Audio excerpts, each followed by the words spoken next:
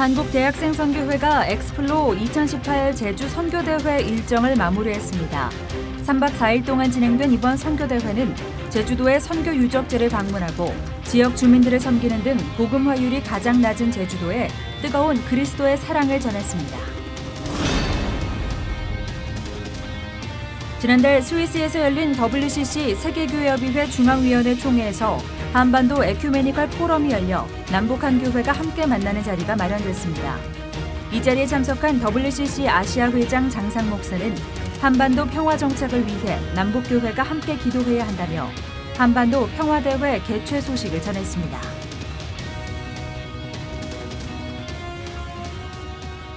여러분 안녕하십니까? 이달부터 300인 이상 기업에서는 주 52시간 근무제가 시작됩니다. 기대와 우려의 목소리가 나오고 있는데요. 일과 삶의 밸런스라고 불리는 워라벨과 작지만 확실한 행복을 추구한다는 소확행이 이슈인 요즘 주 50시간 근무가 어떤 결과를 만들어주게 될지 기추가 주목되고 있습니다. 이런 변화와 더불어 꼭 챙겨야 할 것은 외적 시간의 균형만이 아닌 질적인 삶의 조화일 텐데요. 무엇보다 신앙과 삶의 균형이 질서 있게 자리 잡을 수 있도록 해야겠습니다. 한국대학생 선교회 CCC가 지난주 제주 샛별로름에서 엑스플로 2018 제주 선교대회를 진행했습니다. 가장 낮은 복음화율을 기록하고 있는 제주 땅에 성령의 바람이 임하게 해달라는 대학 청년들의 간절한 찬양과 기도, 섬김이 이어졌습니다. 조홍현 기자가 보도합니다. 안개가 집회 현장을 가득 메웠지만 학생들의 열정은 날씨에 굴하지 않습니다. 기쁨의 찬양을 주님께 올려드리는 대학 청년들의 모습이 제주 새별오름 현장에서 장관을 이룹니다. 이기풍 선교사를 통해 전해졌던 복음이 제주 땅에 닿은 지 110년. 그러나 섬 전체를 아우르는 무속 신앙과 10%도 못 미치는 복음화율, 그리고 4.3 사건의 아픔이 제주에 남아 있습니다. 이번 대회에서 제주 성도들과 전국 CCC 청년들은 이곳의 회복을 위해 마음을 모으며 기도와 섬김을 통해 제주 땅의 아픔이 거치고 희망의 길로 나아갈 수 있길 함께 소망했습니다. 제주 시민들을 위한 기도를 많이 함으로써 더욱더 그 제주 시민들이 아픔을 좀더 그 내려놓고 희망의 길로 나아갈 수 있는 어, 많은 사람들이 제주도를 위해서 복음을 전하고 기도를 한다고 해서 그래서 진짜 회복이 일어날 것 같다라는 확신이 들었고 아, 하나님이 아직도 제주도를 정말 사랑하시는구나 모두 다 하나님 영접하고 만약에 잊혀졌다면 하나님을 다시 만날 수 있는 소중한 기회가 됐으면 좋겠습니다. 이번 대회를 이끌어간 한국 대학생 선교회 박성민 대표는 제주 성도들과 CCC 청년들이 하나님의 부르심을 따라 다가올 통일 시대의 주역이 되자며 이제는 대한민국의 청년들이 올바른 방향성을 갖고 미래를 향해 나아갈 수 있도록 교회가 앞장서야 한다고 강조합니다. 교회뿐만 아니라 이 사회를 품고 또 조국을 품고 세계를 품고 우리 역할을 찾을 수 있도록 젊은이들을 도전하고 또 젊은이들에게 그런 꿈을 심어주는 그런 시도가 있어야 되지 않겠느냐 그렇지 않다면은 우리 세상하고 똑같아진다 원래 하나님의 부르심에 원초적인 부르심에 다시 한번 진짜 적나라하게 헌신하는 그런 시대가 돼야 되지 않을까 그런 생각을 해보게 됩니다. 이번 선교 대회에서는 특별 프로그램으로 선교 박람회와 제주 미션 프로젝트가 있었습니다.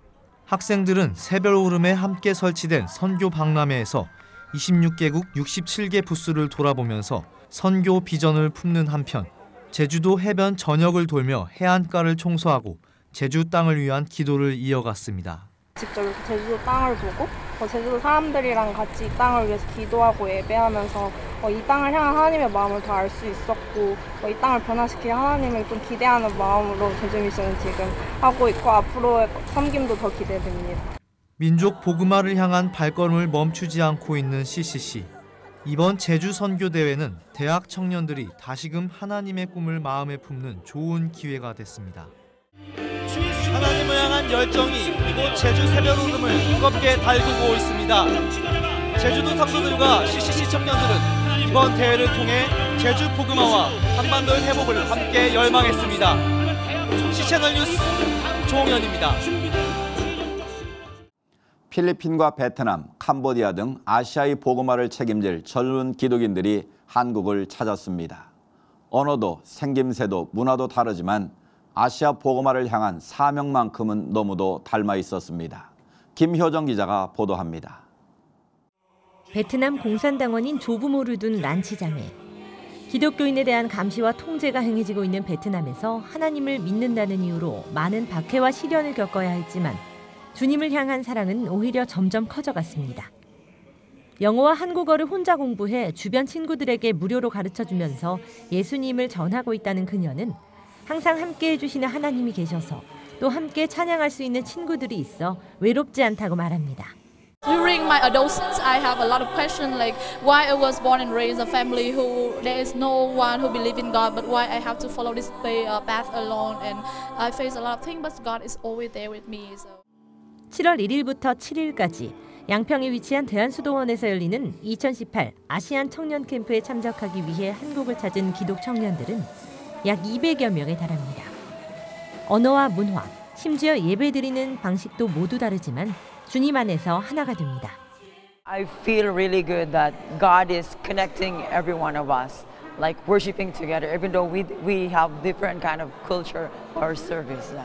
꿈의 교회와 서정감리 교회 등 한국 교회가 후원하고 해외에서 미래 세대를 위한 사역을 이어가고 있는 선교사들이 참여해 마련한 집회에서는 김학종 목사의 설교, CCM 콘서트, 달란트 개발 등 다양한 프로그램이 진행됐습니다. 여기서 이제 뜨겁게 하나님의 사랑을 느끼고 또 성령의 어, 어, 체험을 해서 각 나라에 돌아가서 복음의 전도자로 또 십자가 용사로 진짜 하나님의 복음을 전하는 그런 사람들이 됐으면 좋겠습니다. 아시아 기독 청년들은 집회 기간 한국 교회들을 방문함으로써 뜨거운 예배와 찬양을 경험했으며 한국의 주요 명소들을 탐방했습니다. C채널 뉴스 김효정입니다. 이어서 그 밖의 교계 소식 전해드립니다. 조직신학자 서철원 박사의 저서 서철원 박사 교의신학 전집 출판 감사 예배가 열렸습니다. 준비위원장으로 참여한 세해den교회 소강성 목사와 예장합동 전계헌 총회장 등의 스승이기도 한 서철원 박사는 목회자들의 설교 준비에 도움을 주고 현대신학의 공격에서 정통신학을 지키기 위해 저술했다고 집필 의도를 설명했습니다. 이번 저서는 신학서론과 하나님론, 교회론 등 7권으로 구성되어 있으며 준비위 측은 창세기부터 요한계시록까지 성경 전체를 일목요연하게 이해할 수 있도록 조직 신학의 모든 것을 망라했다고 말했습니다. 광고를 통해 복음을 전하는 사단법인 복음의 전함이 대한민국을 전도하다 캠페인을 진행합니다. 캠페인에 앞서 열린 선포 예배에서 복음의 전함 고정민 이사장은 캠페인이 처음으로 열리는 경상 지역은 130년 전 한국 선교를 시작했던 역사적인 장소이지만 현재 복음화율은 최저 수준이라며 이번 캠페인을 통해 침체됐던 거리 전도가 활발해지길 바란다고 말했습니다. 7월 한 달간 부산을 시작으로 경상권, 전라권, 충청권, 제주권 등 전국 7개 권역에서 진행되는 캠페인은 지역 주요 장소와 교회 외벽에 복음 광고가 걸리게 되며 매주 지역 교회를 중심으로 시내 곳곳에서 거리 전도가 펼쳐질 예정입니다.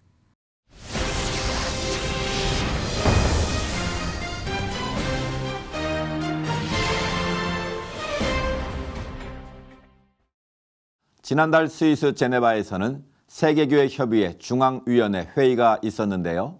특별히 그 자리에서 남북교회와 세계교회 관계자들이 한자리에 모여 한반도 평화 프로세스를 위해 서로의 비전을 공유하는 시간을 마련했습니다.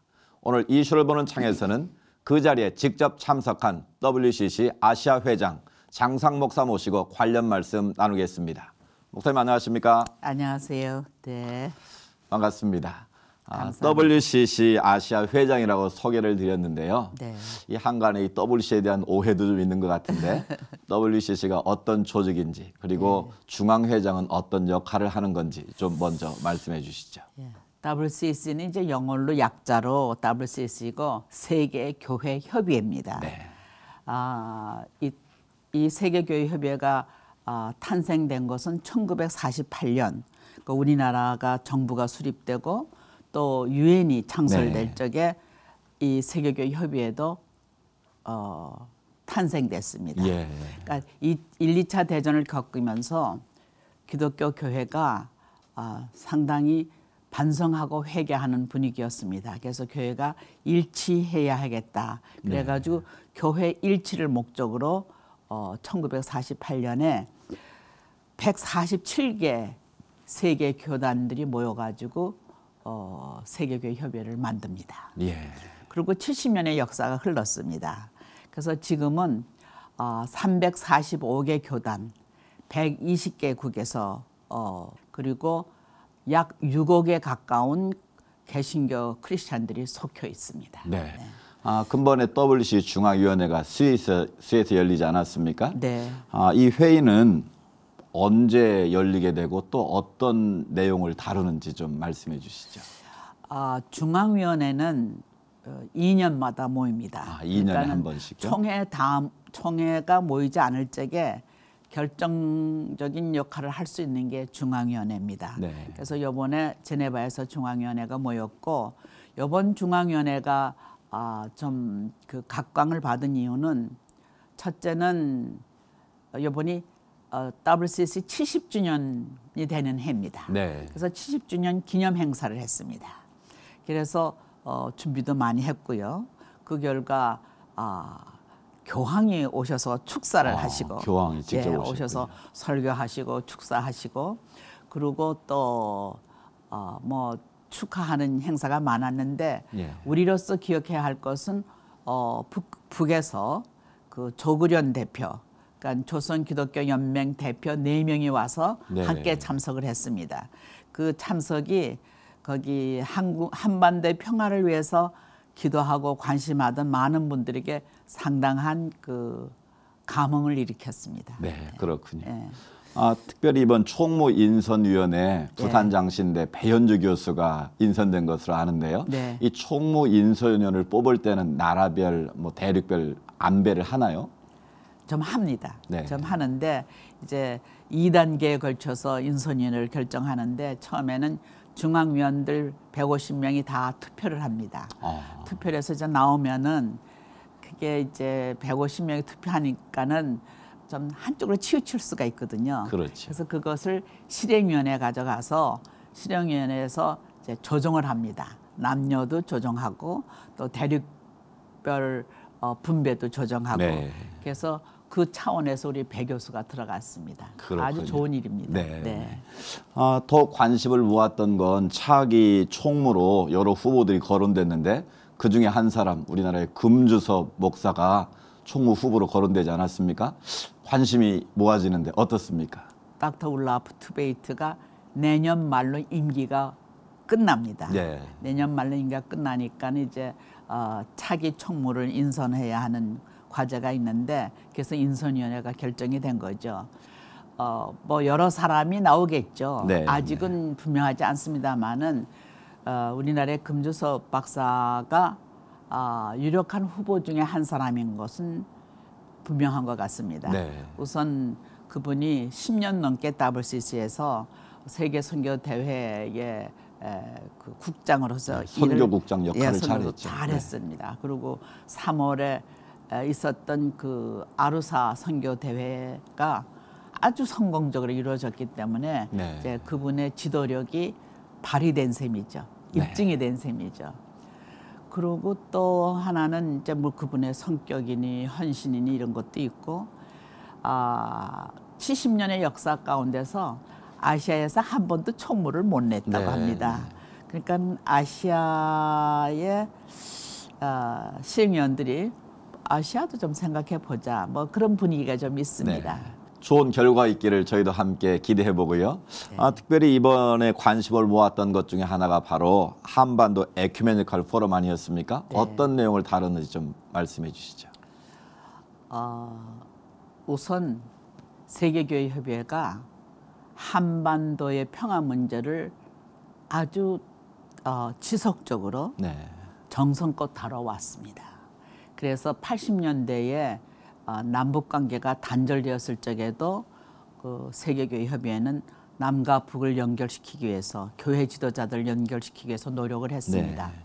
그 결과로 어, 세계교회 협의회 지도자들 가운데 한반도 문제에 관심 있는 사람들이 참 많습니다. 그렇군요. 그래서 이제 한국 대표와 또 세계 교회 지도자들과 합쳐서 소위 어, 에큐메니컬 포럼 한국에 대한 에큐메니컬 포럼이 형성됐는데 네.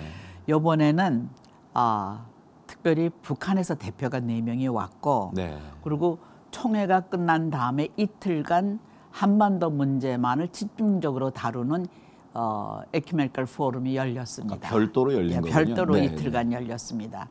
그 거기서 뭐 어, 예, 한반도 문제가 평화롭게 해결될 그런 조짐이 보이기 때문에 아. 주 많이 흥분했고요.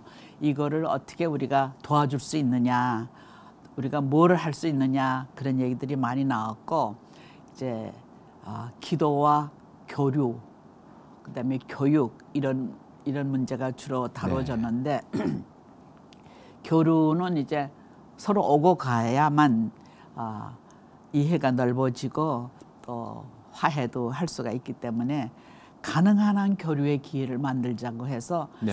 아마 한반도 평화 대회를 어, 내년 정도에 한반도 평화 대회를 열자고 그러고 있고요. 네. 또8.15 행사도 같이 하자고 그러고 또 한국 NCC는 어, NCC 총회 때 북한 대표를 초청하고 싶어 하고 네. 뭐 이런 등등이 논의됐습니다. 조선 그리스도교 연맹의 참석은 WC 초청으로 이루어진 것으로 알고 있는데요. 그렇죠. 어, 북측 초청 배경 어떻게 해석해야 될까요?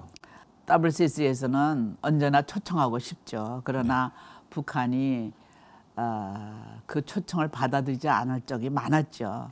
근데 이번에는 흔쾌히 왔습니다. 어. 흔쾌히 왔고 아주 즐겁게 지냈습니다. 네. 그리고 거기에 강명철 위원장이 지도자인데 그분이 피아노를 잘 치고 어. 찬송가를 그렇게 잘 불러요. 예. 그래서 어, 남쪽에 오면 찬송가 좀 많이 부르라고 그랬죠.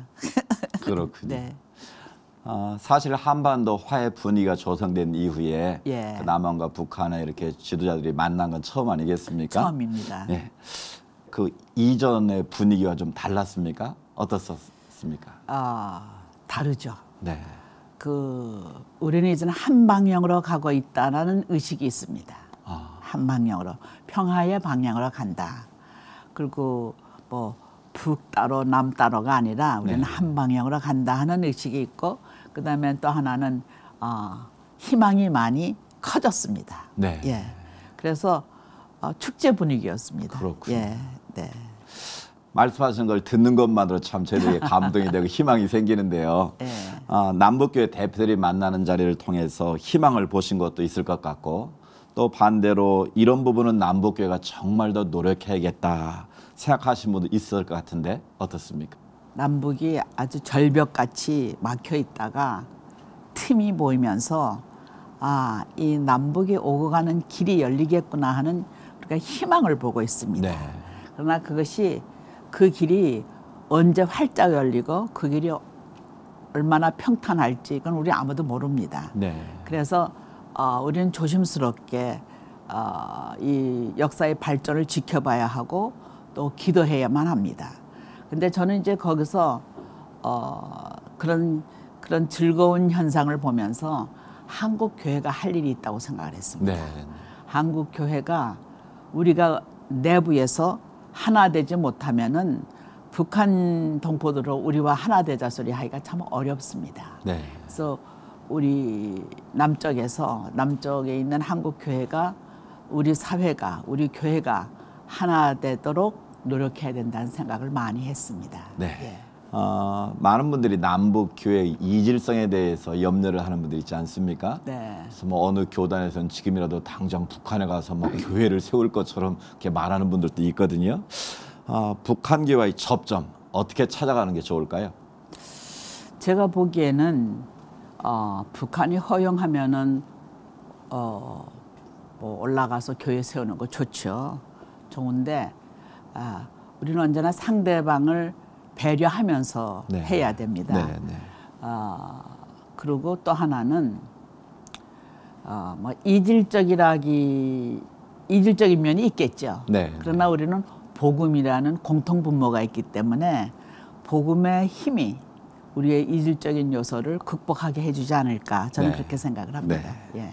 아까 잠깐 언급은 하시기는 했는데 이번 포럼에서 다음 스텝에 대해서도 논의가 된 걸로 알고 있는데요. 예. 어떤 내용입니까? 아, 그 이제 세계교회 지도자들도 같이 모였기 때문에 네. 아, 뭐 미국에서도 또 카나다에서도 여러 군데에서 이제 그 북한 대표들과 함께 남한 대표들과 함께 세계교회 지도자들과 함께 아, 한반도의 평화를 위한 모임을 가지려고 합니다. 네. 근데 한국에서는 한반도 평화 대회를 어, 개최하기를 원합니다. 한반도 평화 대회요. 네, 그것을 네. 금강산에서 개최했으면 좋겠다고 얘기하고 있습니다. 예. 그러나 그것은 뭐 확정된 건 아니고요. 네, 네. 어, 우리의 비전입니다. 예. 그리고는 이제 서로 오고 가야만 자주 오고 가야만 그 길이 닦여지지 않습니까? 그렇죠. 어, 그래서 어, 가능한 한 기회를 만들어서 오고 가는 발걸음을 에, 만들려고 노력하는 거 있습니다. 네. 예. 이 어렵게 찾아온 이 한반도의 평화를 정착하기 위해서 한국 교회가 앞으로 어떤 역할을 감당해야 할지 그리고 통일 시대를 맞이하기 위해서 선행돼야 할 일들은 무엇이라고 생각하는지 말씀해 주시죠. 우리 사회뿐만 아니라 교회 안에서도 많이 갈등을 일으키는 요소들이 있습니다. 네. 그래서 어, 그것이 남북이 화해의 과정을 가는 데 있어서 장애물이 될 수가 있습니다. 예.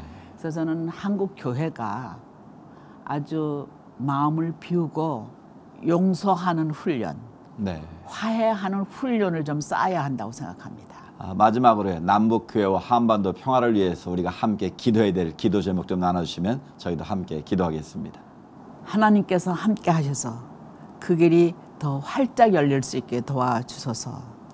그리고 우리가 그 길을 오고 갈 적에 우리가 마음을 다해서 서로 화해하고 용서할 수 있는 그런 은총을 주소서. 전 이렇게 기도합니다. 네, 목사님 말씀하신 것처럼 화해와 용서의 정신으로 이 한반도의 평화가 정착되고 특히 남북 이루어지길 저희도 함께 기도하겠습니다. 목사님 오늘 말씀 감사합니다. 감사합니다.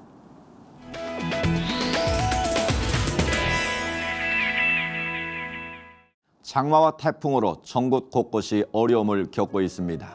태풍 영향권에 있는 지역들은 각별히 일기예보에 귀 기울이시고 피해 없도록 시설물 관리를 잘 하셔야겠습니다.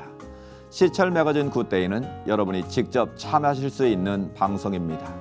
아래 전화번호와 이메일로 언제든지 연락 주시기 바라고요. 인터넷을 통해서도 다시 보실 수 있습니다. 오늘 순서는 여기까지입니다. 시청해주신 여러분 고맙습니다.